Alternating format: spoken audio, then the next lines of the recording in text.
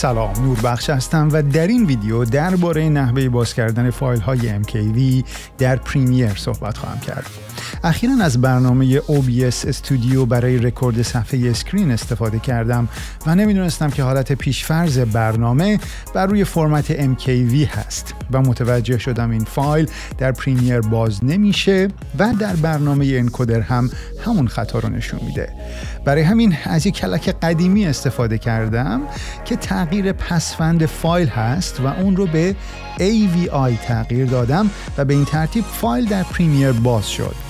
البته قبلش MP4 رو هم امتحان کردم که جواب نداد. اما این همه ماجرا نیست. موقع کار کردن دیدم که نمایش یا پلیبک این فایل گاهی با مشکل مواجه میشه و گاهی هم واقعا اذیت می‌کنه. برای همین در نهایت با انکودر یک خروجی MP4 ازش تهیه کردم و ببینید که تفاوت پلیبک چقدر زیاد هست.